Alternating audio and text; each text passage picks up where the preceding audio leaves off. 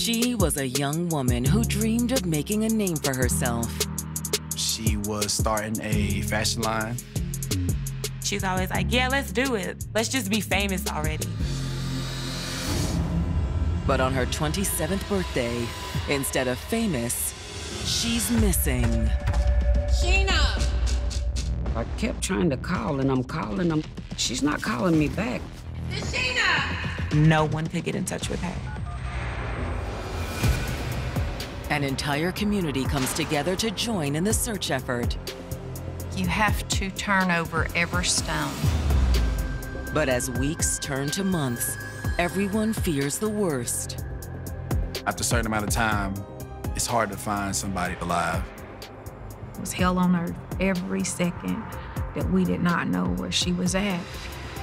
Did a young woman with so much to live for do the unthinkable? I know my cousin didn't kill herself. Or is the truth something even more unthinkable? They find a body that is mutilated. Normal people are capable of all kinds of horrific things.